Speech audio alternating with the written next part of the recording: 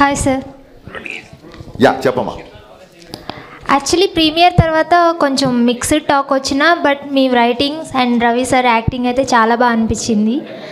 చాలామంది ఆడియన్స్ అయితే చాలా బాగా ఎంజాయ్ చేస్తున్నారు కొన్ని డైలాగ్స్ కానీ ఎవ్రీథింగ్ సో నెగిటివ్ టాక్స్ ఉన్నా కానీ మీరైతే చాలా పాజిటివ్గా రియాక్ట్ అవుతున్నారు. సో మీ పాయింట్ ఆఫ్ వ్యూలో ఏం చెప్తారు ఆడియన్కి సి డెఫినెట్గా ప్రీమియర్స్ నుంచి మిక్సెడ్ టాక్ వచ్చింది. అదేంటంటే with all the due respect ఇప్పుడు అమ్మాయి అడిగిన క్వశ్చన్ కానీ సుధీర్ వర్మ కానీ లేకపోతే రమేష్ వర్మ అలాగే కార్తీక్ ఘట్టంనేని వీళ్ళందరూ నాకు friends but let me be practical గతంలో రామారావు అండ్ డ్యూటీ కానీ రావణాసుర కానీ కిలాడి కానీ ఈగిల్ కానీ ఇవి కూడా కొంచెం డిసప్పాయింట్ చేసాయి. బట్ ఆ డైరెక్టర్ మీద లేని అటాక్ నా మీద ఉంది. ఎందుకంటే I can easily sense there are some personal agendas కొంచెం కొంతమంది అంతమంది అని చెప్పను కొంతమంది. అట్ ది సేమ్ టైమ్ ఎందుకు డైలాగులు మీకు గుర్తున్నాయంటే ఈ ఎవరైతే అటాక్ చేసి ఎవరైతే నెగిటివ్ స్ప్రెడ్ చేస్తున్నారో they are conveniently criticising. See there is a difference between constructive criticism and convenient criticism so ఏదో డ్యాన్స్ మూమెంట్లో ఒక జేబులో పాకెట్ల గురించి మాట్లాడుతున్నారు. బట్ కట్నం తీసుకొని కాపురం చేసే మగవాడు చేస్తే మగవాడు వ్యభిచారం చేసినట్టు డైలాగ్ రాశాను. దాన్ని కన్వీనియంట్గా పక్కన పెట్టేశారు. ఎందుకంటే మంచి డైలాగ్ కదా. అమ్మాయిలందరికీ విపరీతంగా నచ్చిన చాలామంది కాల్ చేశారు. ఆ డైలాగ్ చాలా మంచి డైలాగ్ అలాగే హీరోయిన్ ఎప్పుడైతే నువ్వు నా వెనకాల పడ్డా నాకు ఇబ్బందిగా ఉంది అంటుందో అప్పుడు హీరో రెండు చేతులు పెట్టి దండం పెట్టి మీకు నా ప్రేమ అర్థమయ్యేంత వరకు ఇంకా నేను మీ జోలికి రాను అంటాడు. అబ్బాయిలందరికీ కూడా ఒక అమ్మాయి ఎప్పుడైతే పింక్ సినిమాలు చెప్పినట్టు ఒక అబ్బాయి ఒక అమ్మాయి ఎప్పుడైతే నో అని చెప్పిందో ఆ నోని రెస్పెక్ట్ చేయాలి మనం. సో ఆ థాట్ నుంచి వచ్చిన డైలాగ్ అది.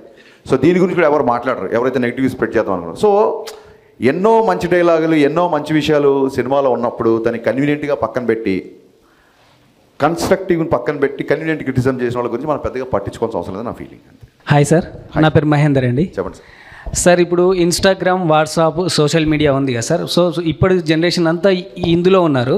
సో మీరేం చేశారంటే ఓల్డ్ జనరేషన్ ప్రేమను చూపించారు. సో దానికి థ్యాంక్ యూ సార్ అలాగే land phone gramophone recorders ఉన్నాయి కదా. వాటి విషయంలో మీరు క్లుప్తంగా బాగా క్లియర్గా వెళ్ళేసి దాని గురించి మీరు క్లారిటీగా ఎక్స్ప్లెయిన్ చేయడం జరిగింది. వీటి వెనకాల జరిగినటువంటి స్టోరీ ఏమైనా చెప్పగలరు? ఇది ఒక ఎయిటీస్ నైంటీస్లో జరిగిన కథ అని ఎప్పుడైతే true based on true incident అని చెప్పిందో నాకు ఫస్ట్ ఫోకస్ దీని మీదకి వెళ్ళింది. ఆ టైంలో ఒక అమ్మాయి అబ్బాయి కలుసుకోవాలంటే ఉండే ఒక ఒక డిఫికల్టీస్ ఆ టైంలో ఒక అమ్మాయి అబ్బాయి మాట్లాడుకోవాలంటే ఉండేది ఇప్పుడు ఏముంది గర్ల్ ఫ్రెండ్ గుర్తురాగానే హాయ్ అని చెప్పి వాట్సాప్లో మెసేజ్ పెట్టేస్తారు. వీళ్ళని చూడాలంటే వీడియో కాల్ చేసుకుంటారు. బట్ ఆ రోజుల్లో అమ్మాయి చూడడమే చాలా కష్టం. ఇబ్బందిగా ఉండేది చాలా కష్టంగా ఉండేది. సొసైటీకల్ నామ్స్ అలా ఉండేవి. సో అది చూపిద్దామని. కొంతమంది అడిగారు ఏంటి ఆ టైంలో జనరేషన్ తీస్తే ఇప్పటి జనరేషన్ కరెక్ట్ అవుతారా లేదా అని. సో నాకేంటి నాకు మహానటి విపరీతంగా నచ్చింది. మహానటి ఈ జనరేషన్ సినిమా కాదు కదా. కాదు సో ఎక్కడో పవర్ఫుల్గా కమ్యూనికేట్ అయిన సీన్స్ అన్నీ మీకు బాగా గుర్తున్నాయి. కొన్ని కొన్ని కొన్ని హిందీ సాంగ్స్ అవి ఉండేసరికి కొంతమంది ఎయిటీస్ నైంటీ సాంగ్స్ కొంతమంది కొంతమంది యూత్ కనెక్ట్ అవ్వలేదు. సో కన్స్ట్రక్టివ్ క్రిటిసిజం అని కూడా ఎందుకన్నానంటే I have read all the reviews మొత్తం అన్ని రివ్యూస్ చదివా నేను. అందులో పర్సనల్ అటాక్స్ ఉన్నాయి అవన్నీ నేను పక్కన పెడితే అందులో నచ్చిన అంశాలు చాలామంది రాశారు. అండ్ అందులో ఉన్న కామన్ పాయింట్స్ అన్నీ నేను నోట్ చేసుకున్నాను.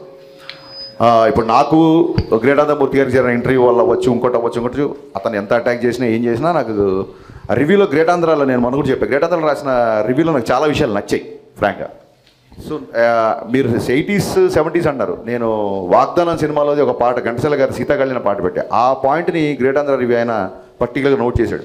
సో చాలా హ్యాపీ అనిపించింది. ఎక్కడో బ్యాక్గ్రౌండ్లో వచ్చే సాంగ్ కదా ఇది గుర్తుంచి ఉంటుందా లేదా ఆడియన్స్ దీన్ని కనెక్ట్ అవుతారా లేదా అన్నప్పుడు ఇలాంటి రివ్యూస్ అవుతున్నప్పుడు I felt very happy so అతను టూ పాయింట్ టూ ఫైవ్ ఎంతో ఇచ్చాడు. I'm not bothered about it but నేను చదివిన రివ్యూలలో అతను మెన్షన్ చేసిన అవన్నీ నాకు బాగా నచ్చాయి.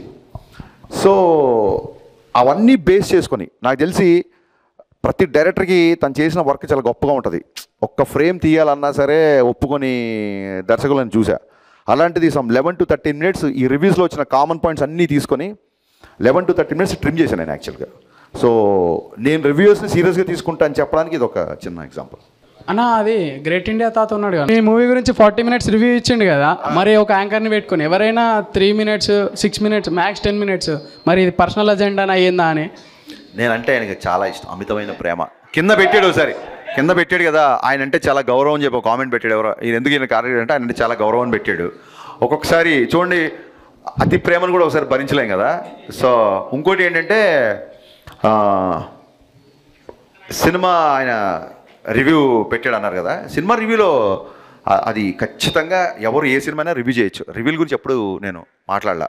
In fact two point two five review ఇచ్చిన గ్రేట్ ఆంధ్రలో నాకు నచ్చిన విషయాలు చాలా ఉన్నాయని చెప్పే కదా. సిచి అలాంటి షాక్ తట్టుకొని ఇవాళ ఇక్కడికి వచ్చాను బాసు. ఆయననో ఇంకోళ్ళో ఇంకోళ్ళో ఇంకోళ్ళో ఎలా బాసు? లైట్